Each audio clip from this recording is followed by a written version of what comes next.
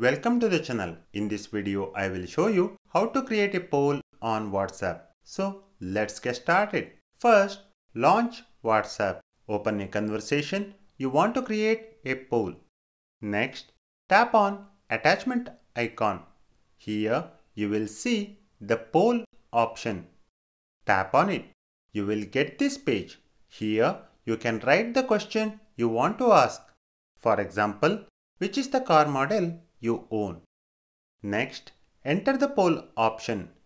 You can add up to 12 options. You can add options by tapping add. Once done, tap on send to create your poll. This is what the poll looks like.